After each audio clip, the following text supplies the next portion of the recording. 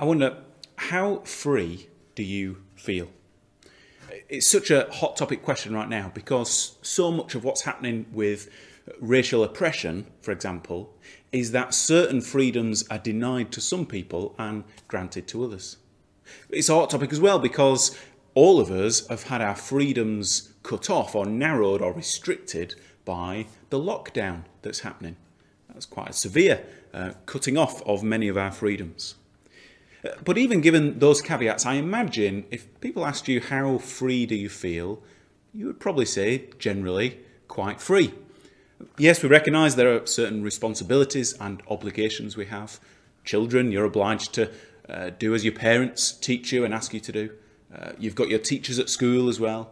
Parents, you've got bosses at work and, and a board of directors to answer to, perhaps. Uh, and of course, we've all got the government who rules over us and governs us. But generally, we would say we are free people, free to choose, free to live as we please. But I want to start today by saying that the Bible teaches that there is a very real sense in which none of us are free. As humans, we are unable by nature to live the kind of lives that God says are morally good. We are ultimately unable to choose what is right rather than what is wrong. Now, please don't misunderstand me. I don't mean to say that we're not free to make decisions. We are free to make decisions. And the Bible's keen to point out that we have the opportunity and the responsibility to make the right choices, and that our choices matter.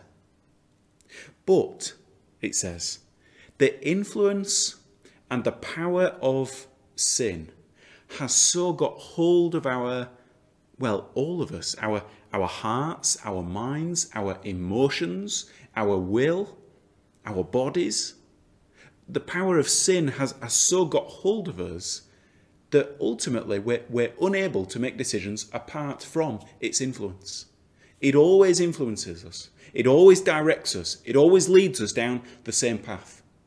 And that is the path of rejecting God choosing what is wrong rather than what is right. The Bible says we are slaves to sin. We are imprisoned by sin, by nature.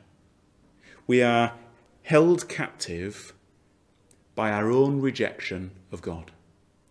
A rejection that is so strong that the Bible even describes it, personifies it as a force that is outside of us, that, that exerts its will over us.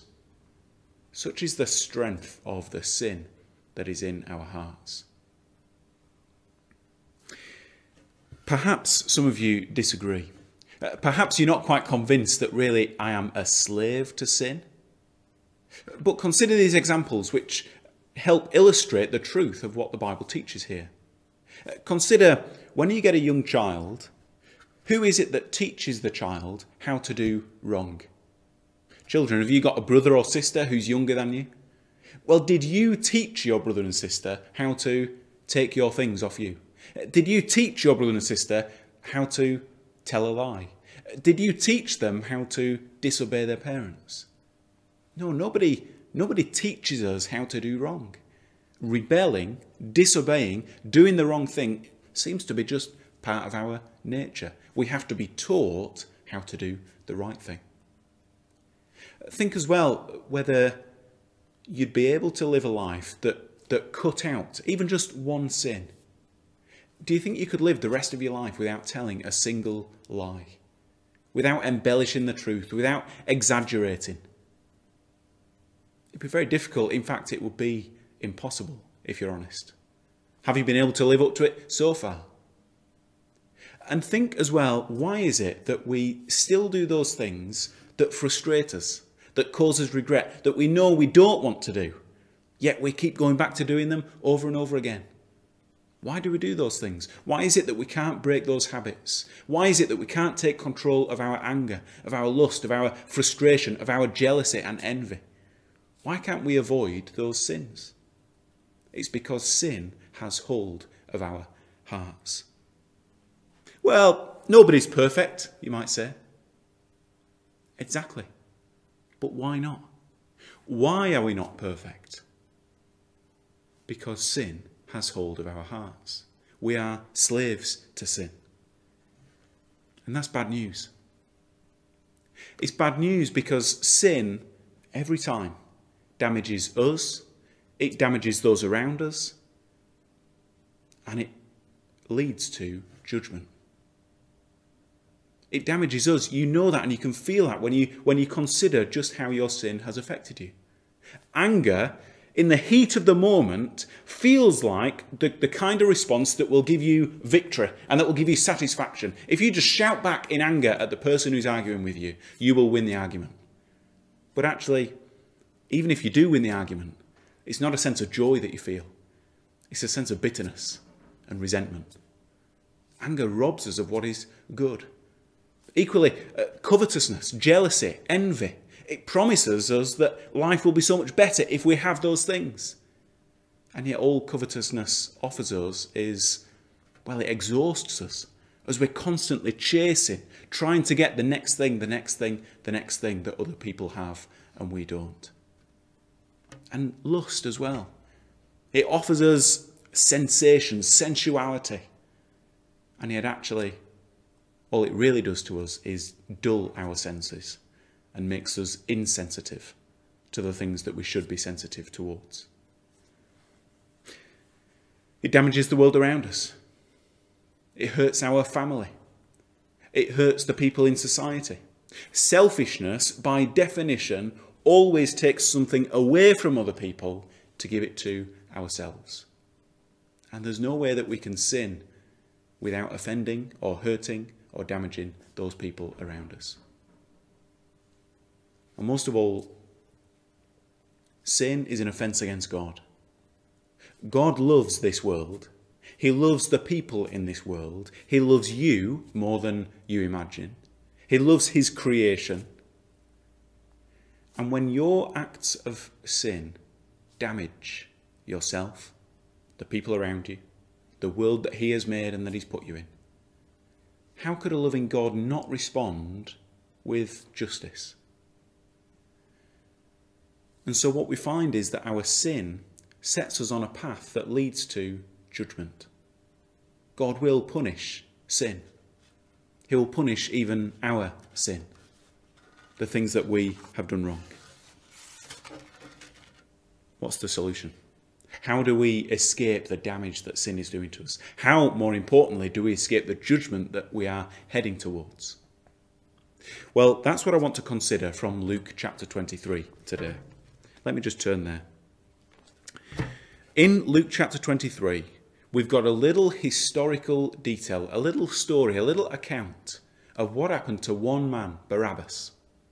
And what happened to him serves as a picture of how we all can be released from the slavery, from the imprisonment that sin has us in. So far in the story, Jesus has been arrested, he's been tried by the Jews, and they really want him dead. And so they cook up some charges that they decide, right, we're going to accuse Jesus of being a rebel. We're going to accuse him of being a political uh, rioter, basically. And they take him to Pilate and they say, he opposes payment of taxes and claims to be Christ a king. Pilate, you've got to do something about him. You've got to put him to death. But Pilate doesn't believe these charges. He can't find anything in Jesus that he's done wrong. He sends him to Herod. Herod also says, Now, this man has done nothing wrong. He's innocent of these charges. But the crowd are having none of what Pilate's saying. Pilate calls together, I'm looking at verse 13 now. Pilate calls together the chief priests, the rulers, and the people. Three groups there the, the chief priests and the rulers, uh, those who've tried Jesus and found him guilty, uh, and then the people, the crowd outside. And Pilate says to them, Look, this man has done nothing wrong. He's innocent. He's no threat to the government. He's not causing riots.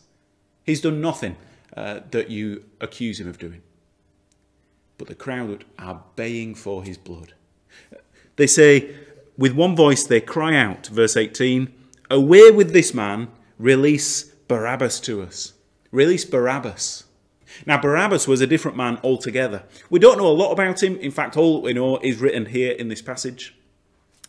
Um, we know that he was a prisoner, thrown into prison for, it says, insurrection, verse 19. Now, insurrection is rebellion against the king. What Barabbas was doing, he was a, a political rioter. He was getting a, a, band of men together to, to try and overthrow the government and, and release his people from the, the tyranny of the, the cruel governments and their rule. Barabbas was the, the insurrectionist, the, the, the rebel rouser, the troublemaker.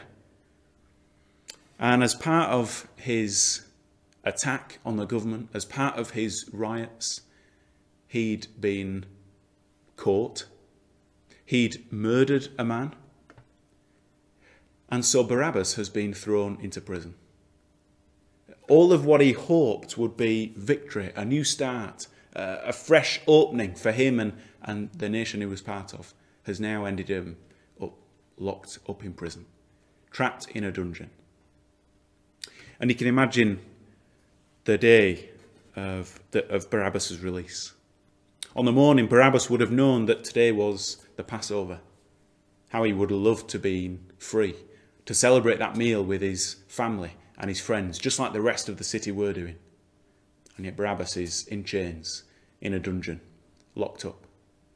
And as he listens to the festivities outside of his window, uh, if he had a window, he hears the noise of the crowd.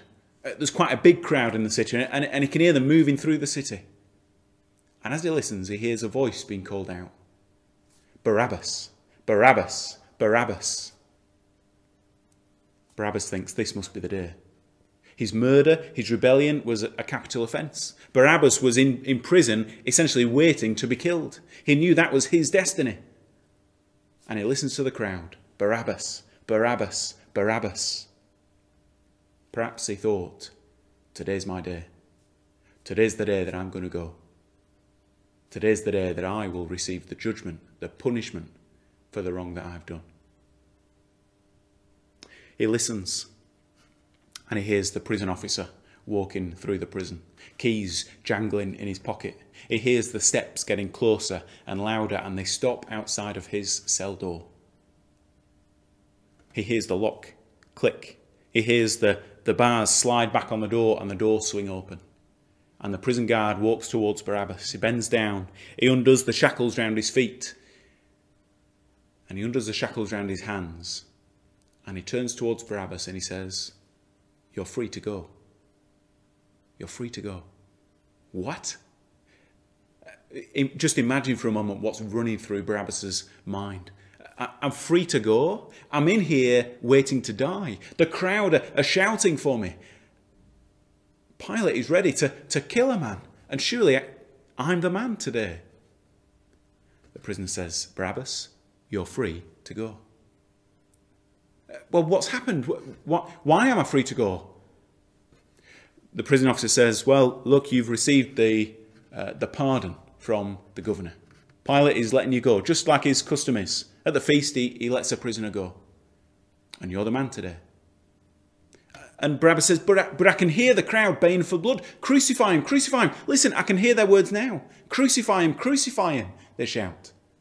And the prisoner says, Well, they're not after you, Barabbas. They're after another man. Some man called Jesus. They reckon he's a, a rioter.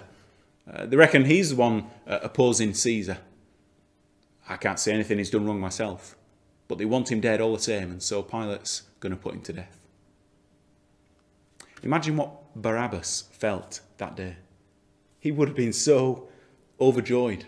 I wonder where he went first. I wonder who he went to see, whether he had family, whether he went to find his wife, uh, brothers and sisters, friends. Or I wonder whether he went out into the crowd to watch the death of the man who'd been killed while he was being released. The Bible doesn't tell us what happened to Barabbas. We don't know how he might have lived from that day on. But Barabbas is a perfect illustration of our own condition. And that's why the Bible speaks about him. Barabbas was a criminal. We all have sinned. Barabbas had broken the laws of the government, of the, the nation in which he lived. We have broken the laws of God the Creator in whose world we live. Barabbas was imprisoned, and in his imprisonment, he was waiting to face the judgment, the punishment, the just uh, punishment that he deserved. Our sin imprisons us, it enslaves us, it has hold of our hearts and our minds. And while we're in sin, while we're in this imprisonment, all we're doing is waiting for the judgment that we deserve, waiting for the day to come, waiting for the day we stand before God.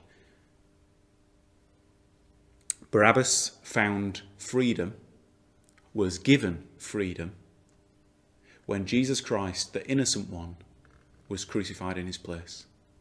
When Jesus, the innocent one, was accused of the very things Barabbas had done. Barabbas was the rioter, but they said Jesus was the rioter and they killed him for it. In the same way, we can have freedom from the sin that takes hold of us when we turn to Jesus.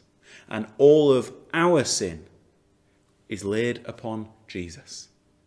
And he dies on our behalf. He takes the punishment so that it's removed from our head, so that we don't have to face it, so that we are granted freedom. And just imagine how Barabbas would have lived from that day on. Uh, do you think he went back to, to rioting and opposing the government?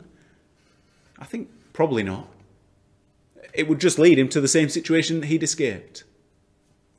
You know, in the same way, the gospel message isn't a license to just live as you please and, and do whatever you like. The gospel is an invitation to escape the sin that once had hold of you, to escape the damage that it was doing to you. The gospel invitation is an invitation to live in a way that pleases God and to honour Him and to be free from the sin that once had hold of us. How the gospel ought to change our life. How it gives us freedom to fight against the sin that damages us. But you know, this illustration of Barabbas being freed from prison is incomplete, let's say. Uh, it's a good illustration. Uh, we are totally enslaved to sin. We are imprisoned by it. We do need to be freed not by anything that we do. Barabbas didn't fight his way out of prison. He couldn't do anything to make up for the wrong he'd done. He had to be freed by someone else. In the same way, we need to be freed from our imprisonment to sin by Jesus dying on our behalf. But the limitation of this illustration is that when Barabbas was freed, he had no say in the matter. He didn't ask for it. He didn't know it was going to happen. He didn't respond to Jesus. And we're not told how Barabbas lived afterwards. We're not told that he did go and find Jesus. We're not told that he did become a disciple. But you know, when the Bible talks about the gospel, the Bible makes it clear that when Jesus died on the cross to pay the punishment for our sin, we don't receive the benefit of what he's done without responding to him. We don't receive the benefit of the freedom from sin without responding to Jesus. And the response to Jesus is one of repentance, turning away from sin, turning our backs on sin, and a response that chooses to follow Jesus. Repent from sin and follow Jesus. Our own response to Jesus is vitally important. Because without our response, then we don't receive the benefits that He has earned for us. We don't receive that forgiveness. We don't have our sin taken from us and placed on Jesus. Without a response to Jesus, our sin lays on our own head. And so, before we move away from this passage uh, and consider the crucifixion in future weeks, I want to I want to highlight one more lesson I want to ask an important question of you. How are you responding to Jesus? How are you responding to Jesus? Think about this. In the passage, who is it that is responsible for Jesus' death? There are three main options, really. You could say that it was the Jewish leaders, the chief priests and the elders. Uh, they are the ones, after all, who arrested him, who first put him on trial, who decided that he needed to die. And it's those men who were insistent with Pilate and insistent with Herod, and again, insistent with Pilate, making sure that Jesus must be put to death. You could say that without the chief priests and the elders, things uh, probably would have turned out differently for Jesus. You could pin the responsibility on the chief priests. But you could say, actually, the, the issue is not with the chief priests, the issue is with the crowd. After all, uh, Pilate didn't seem too frustrated with the chief priests. He, he, was able to send Pilate over to Herod, and he was willing to send Jesus away when, it, when uh, Jesus was returned to him. But Pilate was afraid of the crowd. And when the crowd were baying for blood, when the crowd were asking to crucify Jesus and, and getting them to, to release Barabbas, that's when Pilate gave in and said, okay, I'll release him. So you could say the crowd is responsible. Or you could say, well, actually, it's Pilate himself. After all, he's the one who has authority. He's the one who finally gives the order. What would you say? Who do you think is responsible? I wonder what they would say if you had the chance to ask them. The chief priests and the elders might claim responsibility. Yes, they might say. Uh, it was our responsibility. We sincerely believe that he is up to no good. We sincerely believe that he must be put to death. We sincerely believe that he must be got rid of. And so we're happy to take credit for putting him to death. What about the crowd, though? Surely they might try and defend themselves. No, it wasn't, wasn't really our fault, was it? I mean, we were just told what to shout by the chief priest. I mean, they were telling us what to shout. And, uh, you know, I, I didn't really know what was going on myself. I, I, was just stood in the crowd and, and other people around me were shouting. And so I thought it'd be good to shout as well. I, I don't think you can really hold me responsible, they might say. What about Pilate? He certainly didn't want to re be responsible. No, I wanted nothing to do with him, he might say. I wanted him uh, away. I, I, I could see he was innocent and I didn't want to put him to death. Surely you can't hold me responsible. Surely it's them. You know, their responses, those three people, are very similar to the responses of people today when they're asked about who Jesus is. There are some people who are quite adamantly and openly opposed to Jesus. Perhaps people of other religions, perhaps people of no religion.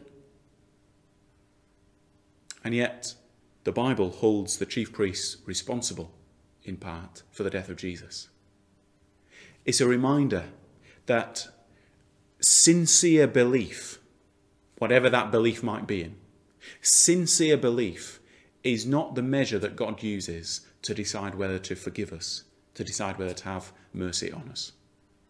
We're so often told that just, just believe what you believe, just, just do what you're, you're doing, but do it wholeheartedly and everything will be all right. Well, the chief priests were doing things wholeheartedly, and yet they were doing things in error. And God's response to them will not be one of forgiveness and mercy, it will be one of judgment and condemnation. There are some who are led along by the crowd, uh, just like those in the crowd.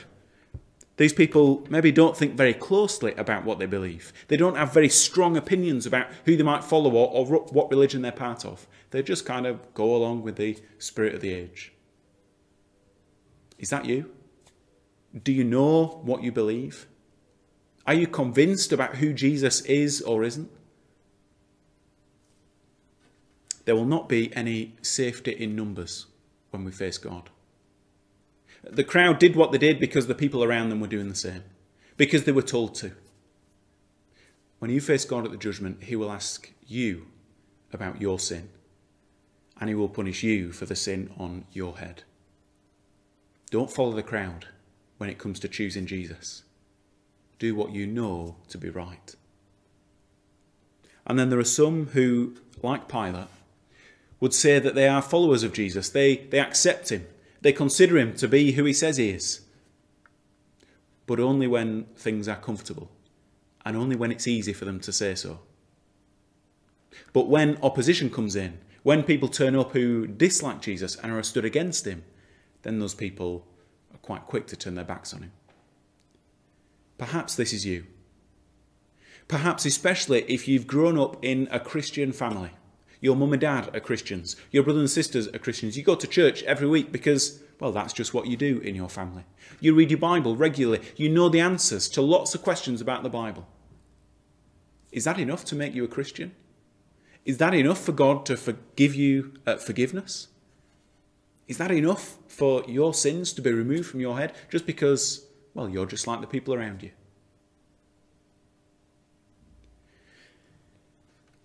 Pilate's conviction about Jesus, Pilate's opinion about Jesus, was not strong enough for Pilate to stand with Jesus even when everybody else was against him.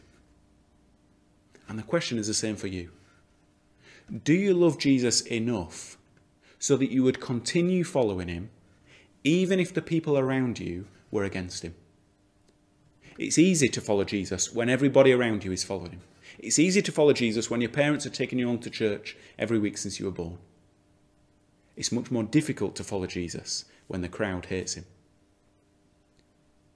True repentance and true faith in Jesus, the right response to Jesus, is the sort of response that says, Jesus, I will stand with you, whatever the crowd are saying, whatever the world is saying, however many people are against you, I'm going to follow you.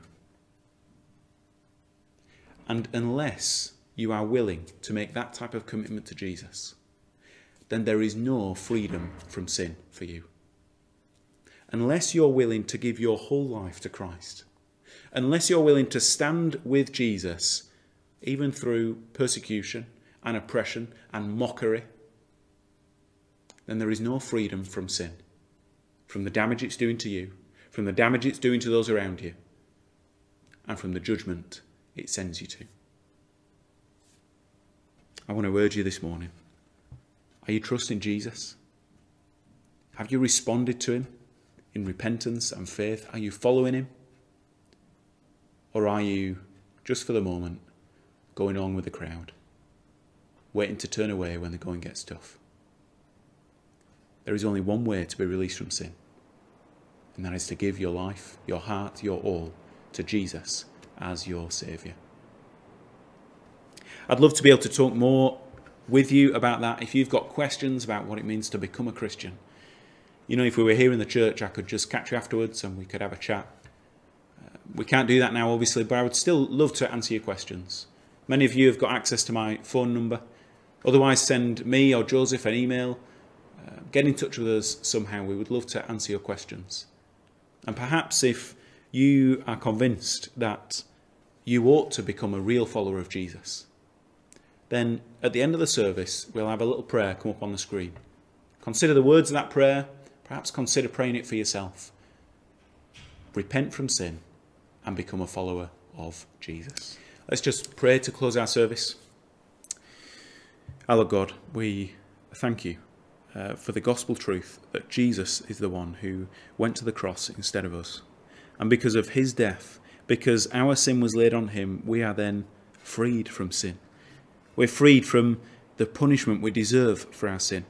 We're freed from condemnation. We're freed from judgment. And we're free from the damage it does. We're given the ability by your Spirit who lives in us and changes us. We're given the ability to reject sin, to choose what is right, to live in a way that pleases and honours you. And so we pray that you'd help us to do that. Not to take the gospel as license to sin, but to take it for what it is freedom from sin and an opportunity to serve you in a right way. We pray for those who are considering becoming a Christian. Father, would you send your Spirit, convict and guide and instruct? We would love to see you drawing more and more people to Christ each and every week. We pray in Jesus' name. Amen.